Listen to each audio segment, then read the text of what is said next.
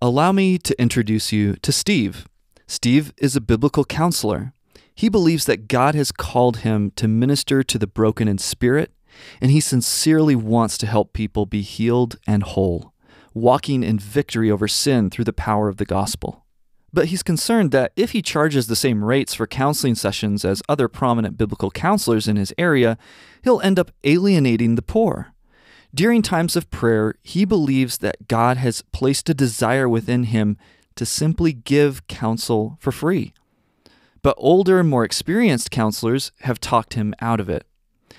God gave you common sense, and you need to be responsible and provide for your family, they say. Besides, if people don't pay you for your counsel, they won't value it. So Steve has reluctantly decided to charge half of what most people usually charge. Although Steve believes that the Bible is sufficient for godly wisdom, he has failed to turn to it for answers to the simple question as to whether he should require payment for speaking truth and love to broken people. He has failed to heed Jesus' command to give freely in Matthew 10:8 and allowed the conventional worldly wisdom of his superiors to eclipse the sincere desire God has placed on his heart. He has also believed the lie that biblical counselors are somehow, quote unquote, above raising support, as most missionaries do, to be able to minister freely and without compromising their sincerity. Steve is a tragic example of someone with an honest desire to honor God, but who was derailed by the blindness, complacency, and carnal pragmatism around him. He's trapped in a fog of confusion. In the end, biblical counselors are offering to lead people to Jesus through the scriptures with wisdom, truth, and sincere friendship, things that cannot and should never be sold. But Steve is unable to see this fact.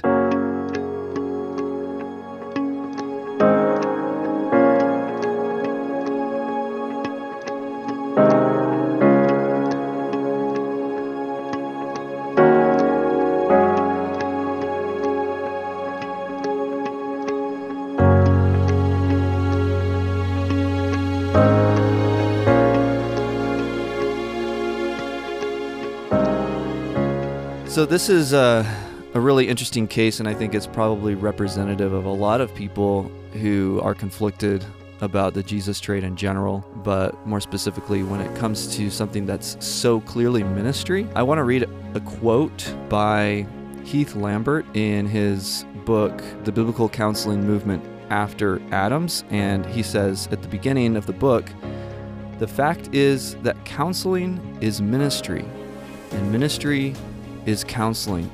The two are equivalent terms. Counseling is the word our culture uses to describe what happens when people with questions, problems, and trouble have a conversation with someone they think has answers, solutions, and help.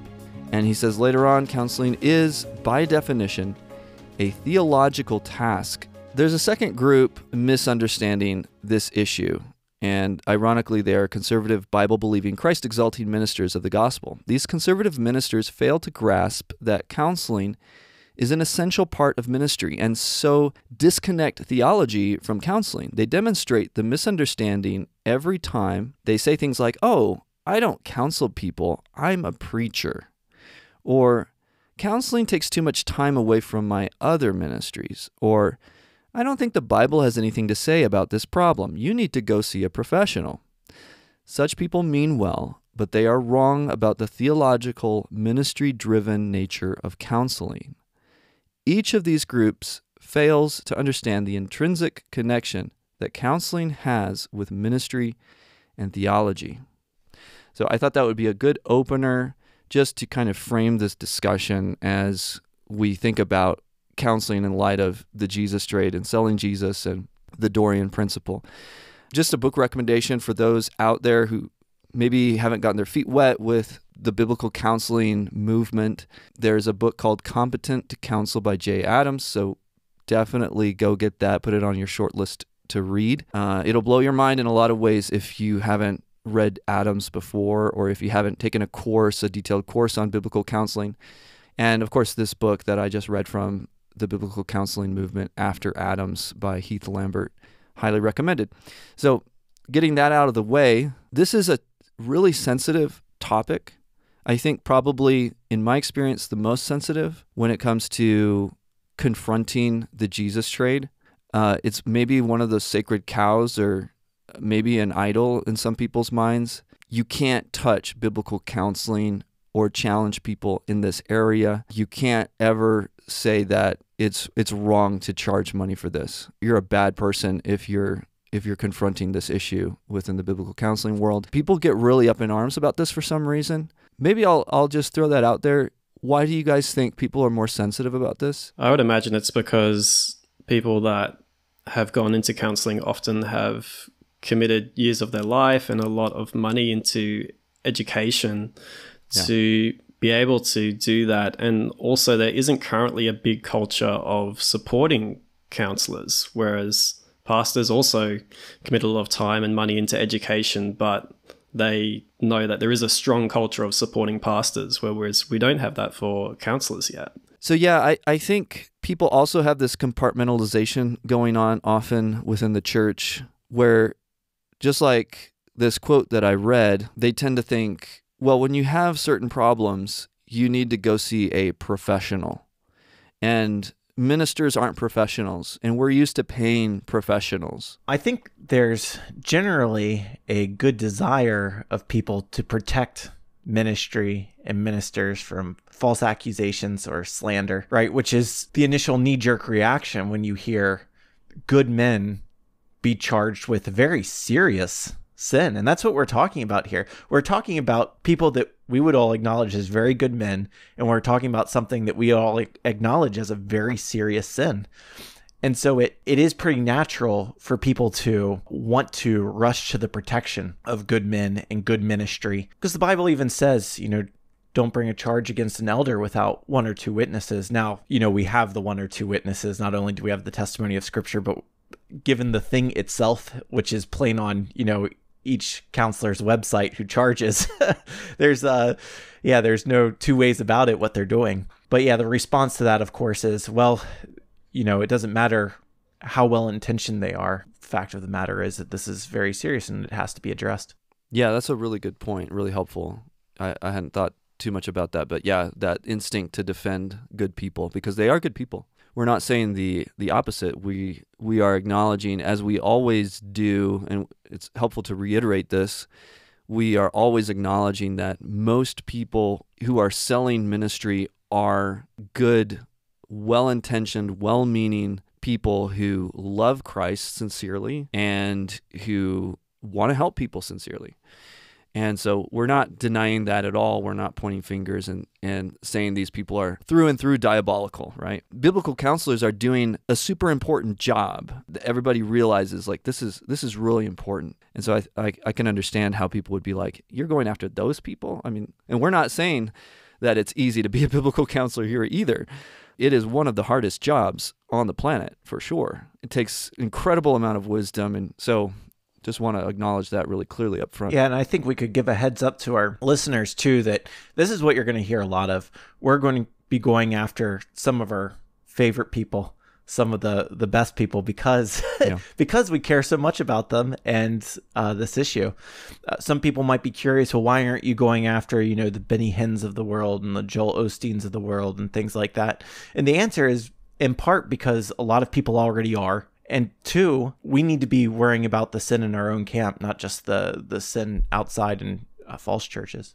Right. So to this day, you know, when I mentioned I'm a missionary, I live on the free generosity of God's people, individuals and churches who are supporting me to be able to freely give ministry on the field.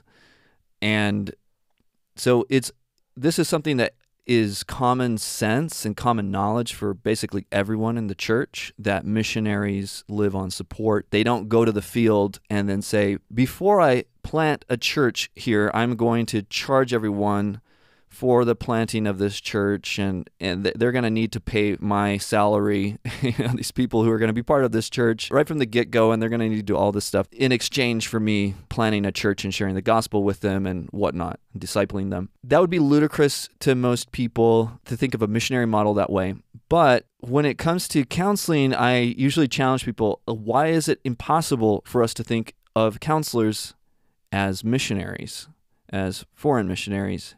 And of course, there's always lots of objections and complaints about that because they're like, well, if I work in the States and nobody will support me because, you know, they only support you if you go overseas and that's more sexy to say you're going to Africa or something and then people will give. But fundamentally, you know, that kind of excuse and pragmatism is just at its core a lack of faith and an excuse for, you know, not doing something because you think it may not turn out or it may just be a little harder. In any case, like to this day, no one has given me a clear answer as to why biblical counselors can't just raise support and be supported as missionaries. And that's what I would recommend. You know, it's it's a very simple solution. It's not complicated. It's you don't have to be a rocket scientist to understand that model. It just takes faith, you know. And I think that's what it comes down to in our conversation so often is like challenging people to have faith that God will provide, that their master will give the wages that the laborer deserves, that he will provide for his people who are harvesting, that he's a faithful master and you can trust him. Yeah, and God providing doesn't necessarily mean he's going to give you the salary that you want. It might involve sacrifice. It could involve working bivocationally that you know lots of people in ministry have to do around the world we're not saying that well because everything's theology therefore everything should be free right? We're saying there's something particular about giving biblical advice that requires it be freely given because it was freely given to us.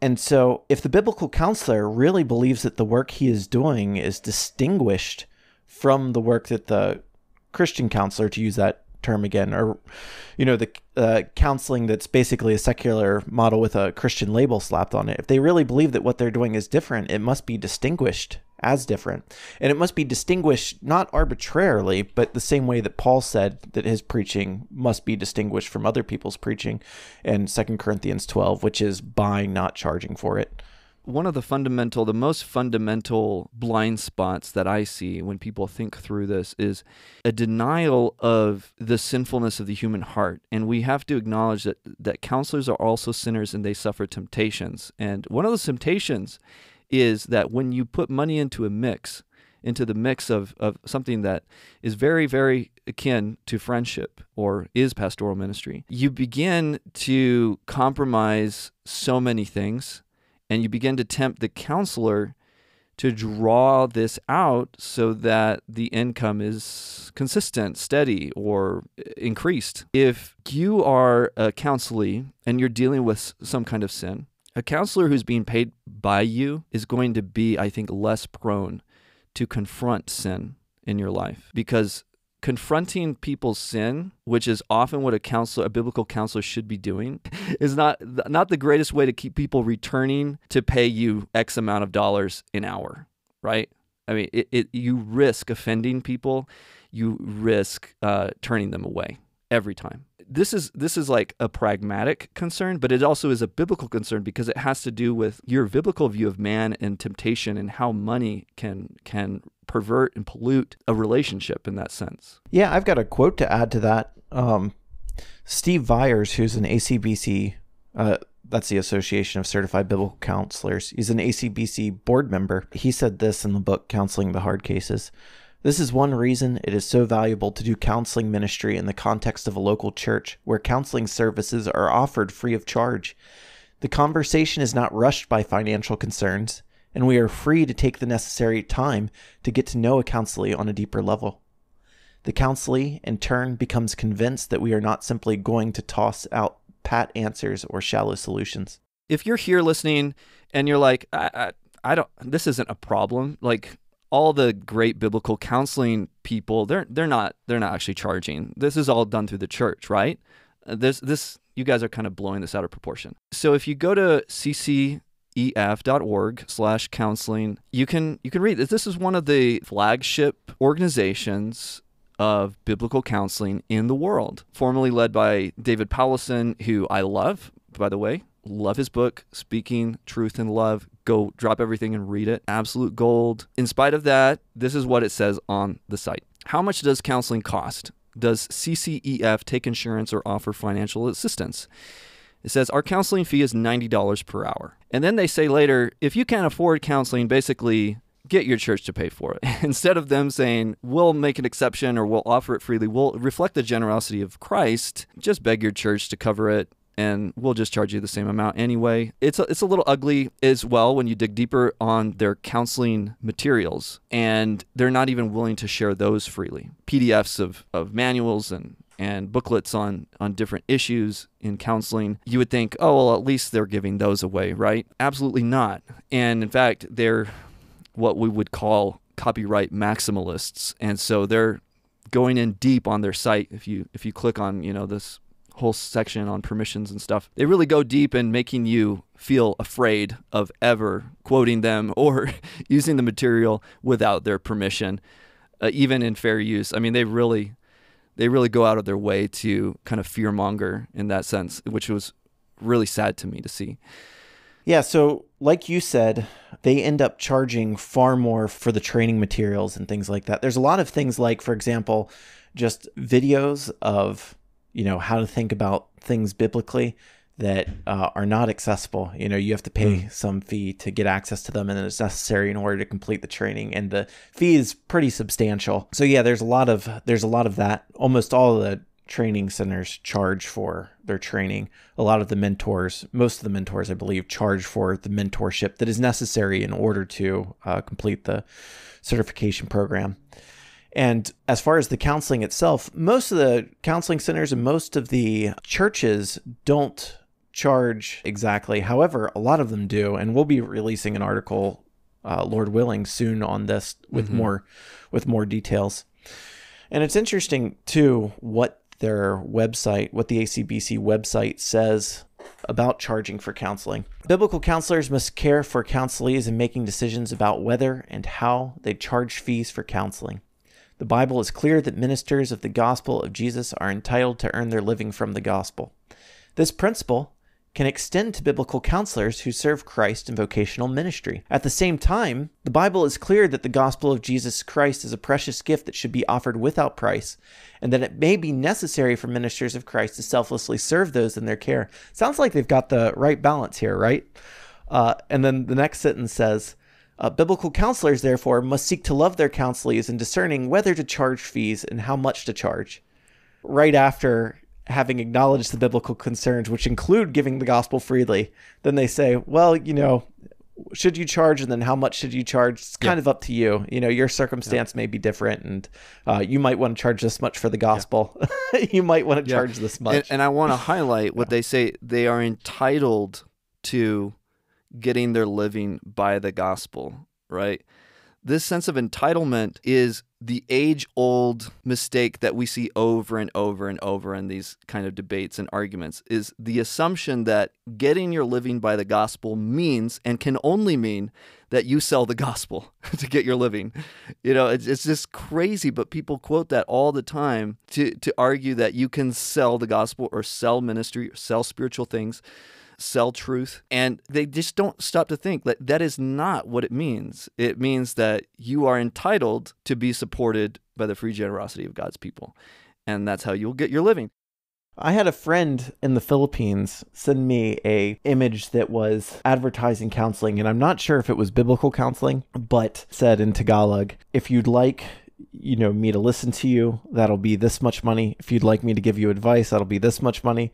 If you'd like me to uh, shed tears with you as your brother that will be this much money. And you know it was like four different levels that was you know how committed do you want me to be to this thing? Wait, was this a joke? Is this a joke or this is real?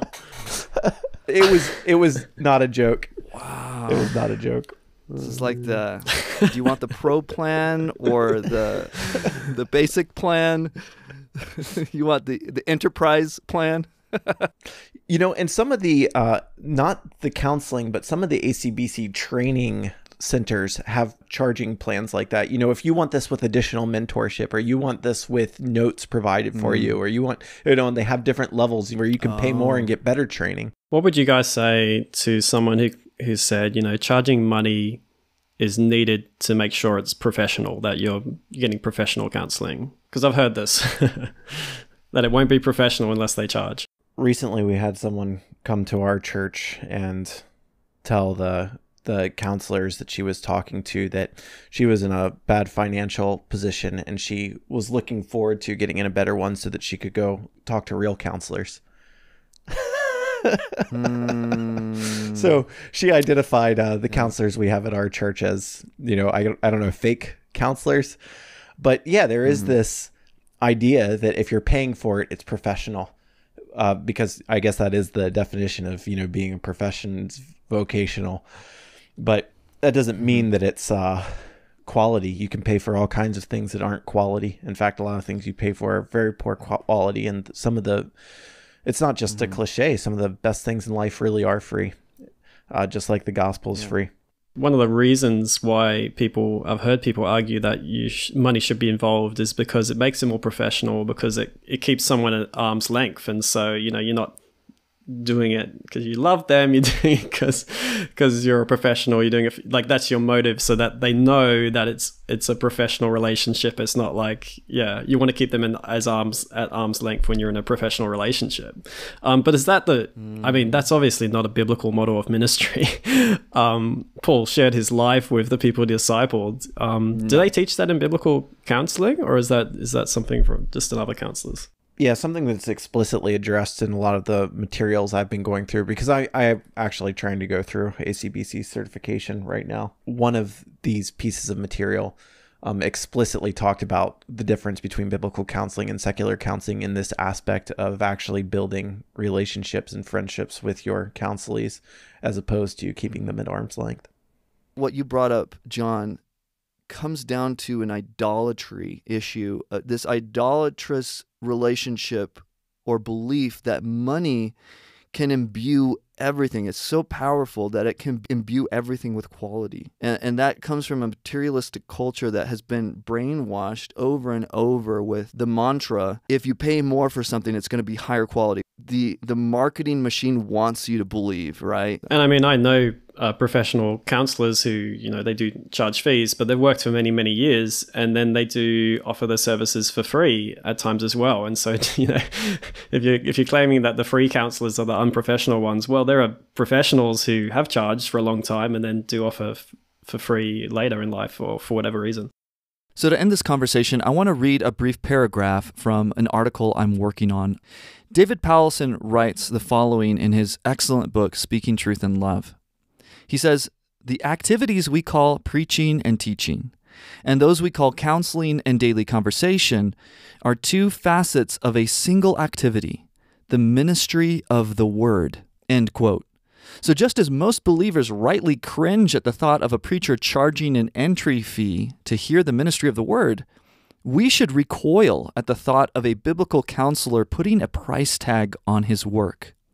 Without a doubt, Peter and the early church would have called it a grievous sin the sin of selling the gift of God for money.